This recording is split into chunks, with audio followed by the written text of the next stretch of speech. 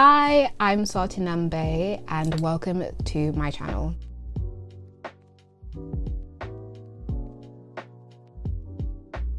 Hi everyone, hope everyone's doing amazing, great, yay. so in today's video, this is gonna be the kickstart of a project that I'm doing on here. Well, a series, a series season, something like that, called What I've Learned in My 20s. As I'm going to turn 30 in 30 days. March 23rd, 2023, I'm turning 30. So as a present to myself, I wanted to take the time to reflect and look over my 20s and what I've learned about different aspects of my life, but also myself and how I've shown up and just everything that your 20s embody. Yeah. So in today's video, I'm going to be talking about what I've learned in my 20s in regards to friendships. So without further ado, let's get into the video. So so to kick things off, I think I need to talk about what was life like for me.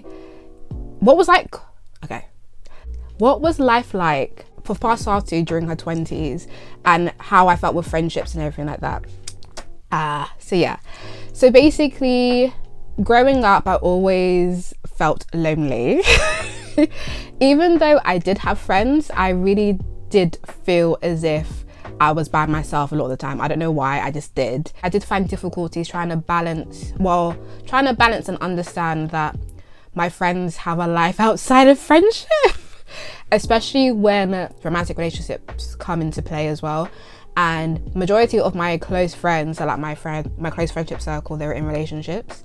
And that was quite difficult because um, it was just hard because for me personally, like I would be like, oh, I want to spend my time with you guys. Hey, like, let's go crazy. A lot of my 20s, it was spent definitely feeling as if I was chasing friendships a lot of the time. And I definitely, along the way, I've learnt how to just cope with not only the changing of how friendships are and relationships are and connection, but also understanding how I react in certain situations and learning how to understand and accept life as it happens basically. I'm a very passionate person when it comes to life in general especially when it comes to my friends. My friends are like my family they're like my sisters.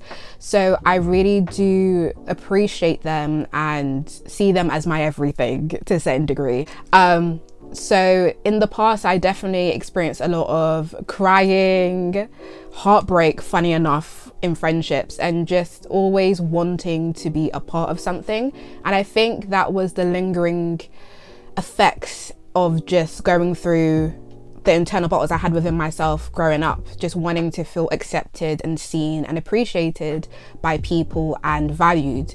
So my friendships definitely I was a very passionate person in the friendship and very like, you're my friend, care about me type of vibe.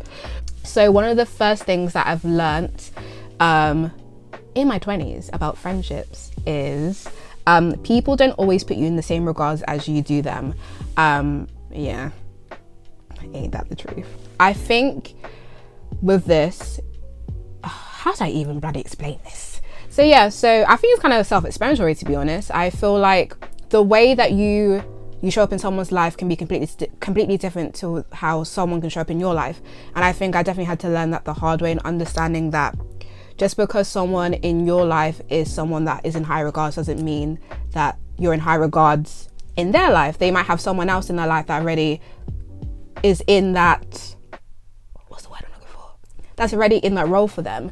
And I feel like I had to come to terms with understanding that everyone's roles within in, within an individual's lives is going to be different. It's not it's not always going to be an equal playing field or an equivalent um, playing field. Playing field. Oh my god, why can't I talk? Ah. And that's just what it is, especially as you grow older. I would I would say.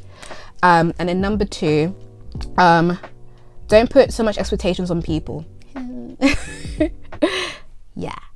Um, people are not psychic and people are human too. And I had to learn that the hard way. I think I'm going to say that term continuously throughout this video, definitely. I can't compare how I would show up for someone and how I would show my friendship and my love and care for someone and what I would do for someone. I can't compare that to or expect someone to do that for me as well because their own person with their own individual emotions, thought process, in the way that they do things and how they show love and care and appreciation and show their friendship to someone. And I think that's why I had to learn and to accept that if I choose to still be friends with them. And I think I had to definitely learn that just because you bend over backwards and go through hoops per se for that person, or you feel like you're going through hoops for that person, doesn't mean that they have to do the same for you. Um, and that's just the harsh reality of it. It's not bad, it's not good, it's just what it is, really. So, yeah. Number three is learn to accept and let go of relationships that don't serve you anymore and don't force anything. Yes. I feel like I definitely have been a part of one sided friendships to a certain degree. um, just because do you ever sometimes realize you're just like, okay, like if I don't message you, you don't message me, you don't kind of say hey the other way. Do you know what I mean? So I think I definitely learnt that if what have I learned? if a friendship has run its course, allow it to do so. Yes, in the moment it will definitely hurt and be something that you will miss, but at the same time, it's just a part of life, I guess. And I definitely would say in my 20s, I've been through that where I've had friends that I was considered to be like sisters, and we were very, very close at a time in my life where we did everything together. We used to speak every day, we used to do a lot of things together and experience a lot of things together as well. Um, and sometimes along the way, that fizzles out, uh, as the saying goes. Um, you need to understand if the person's here for a season, a reason, or a lifetime. And I guess a lot of people, when it comes to friendships that I've experienced, have just been here for seasons or reasons. And I've had to learn to really swallow that pill and to let go and understand that I'm not needed in their life anymore for whatever reason, and to not take it so personally, even though it's very hard to not do that, because um, you just start to question yourself, like, what is wrong with me? Why am I not enough to be a, be a presence in your life? But I feel like, like I was saying earlier, everyone has their own individual experiences and emotions and journeys that they go on in life. And I think I definitely learned to understand if someone doesn't want to message me back after I'm the one that's always like, Happy birthday, how are you? How are you doing? And I don't get that reciprocated and it's always me starting off the conversation, then it's probably a one sided friendship and I know what it is and to accept it doesn't mean that they don't appreciate me or care about me, just means that I'm just not on their priority list and how they see friendship hierarchies and stuff. So yeah, hope that makes sense. So yes. Number four, appreciate those ooh, appreciate those sorry. Appreciate those who continue to choose to be your friend and to choose you. So yes. Um during the last few years of my life I would definitely say that I have gone through quite tumultuous, not tumultuous, but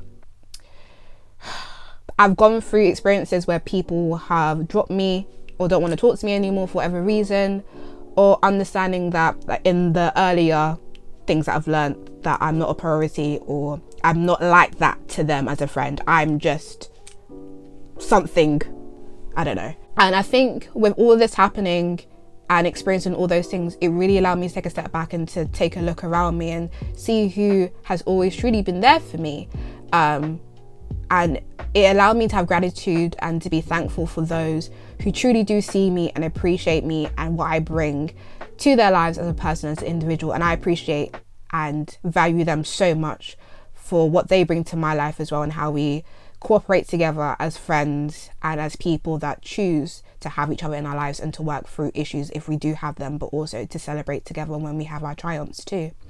I think that in my 20s, I definitely have appreciated and seen who my friends are, who my true friends are, my core base of friendships that I would call my girls. And I understand now who are people that are acquaintances, friends that I can obviously go out with and have a drink with and have fun and blah blah blah. Like I get that, do you know what I mean? But the core people at my being that I will call if I have an issue, um, I learned to appreciate them um, so so so much. So it's allowed me just to take a step back and just really just breathe and be like, I love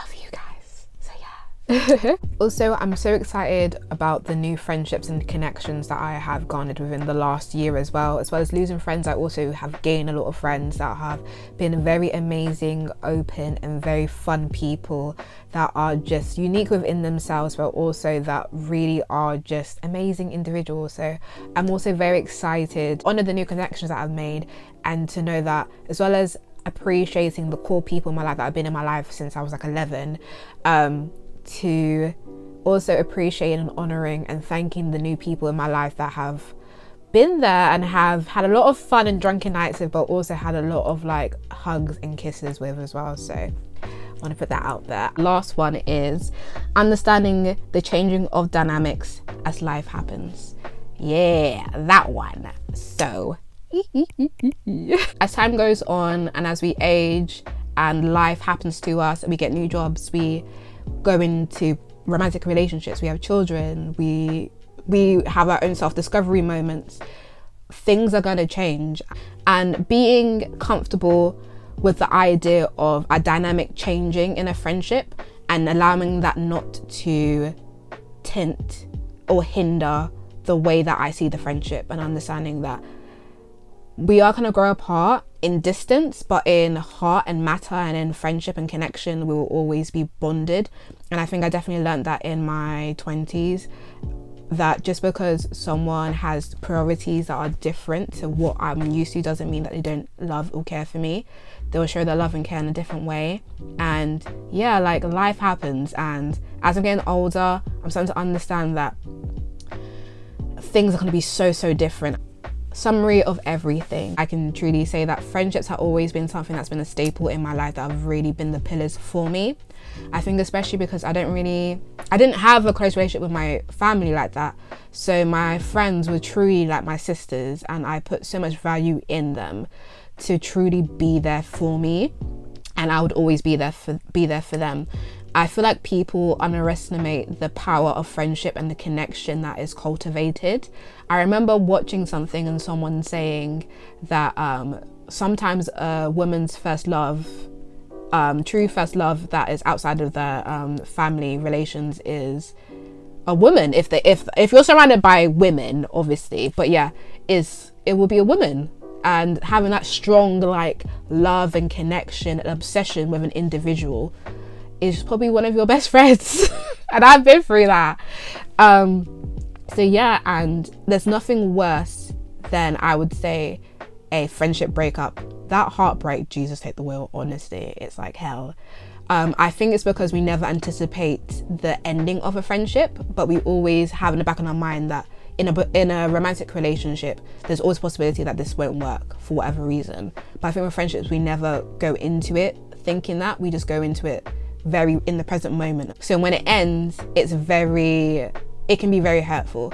Feel like there's a void a little bit and stuff. But yeah, basically. Friendships, just like romantic relationships, they take work. It takes two individuals or multiple individuals, whoever's involved in the situation, um, to put the working to to sustain this connection and relationship that you have. And it's about all parties really truly wanting to be there, showing up, um, showing themselves, and yeah, just putting in the work to sustain something that they want to be a part of. And just also say we're all human, we're all trying to navigate and figure stuff out. I know for me, I definitely probably have had a hand in people not wanting to be friends with me for negative reasons, for whatever reasons, that's fine.